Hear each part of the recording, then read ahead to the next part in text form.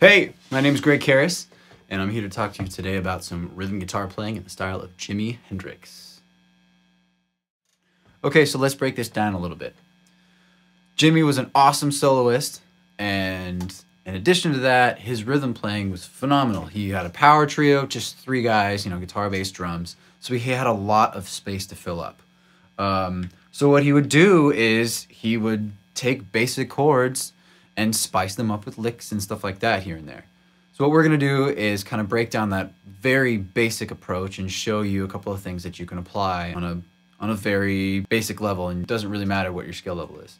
So this little thing is A minor,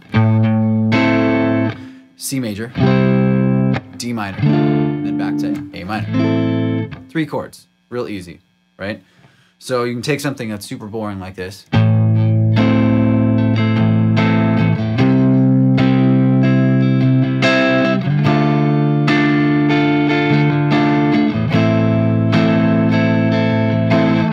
Right? Pretty basic, super boring. And you do this. So what that is, literally all I'm doing is applying the basic, you know, pentatonic blues box, which is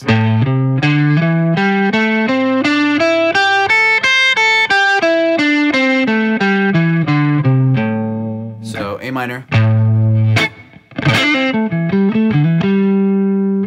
It is is just picking out some different notes within that pentatonic scale, and then hitting the downbeat or uh, and the root of the next chord, which is the C major. And then here, what I'm doing is actually throwing in an inversion of an F major chord,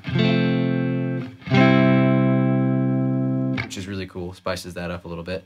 And then hitting the downbeat and the root of the very next chord, which is the D minor lifting up my pinky, turning it into a D minor 7. And just throwing in a, you know, basic insert blues lick here. You can also throw in the, you know. And there you go. Very basic way to spice up your rhythm playing.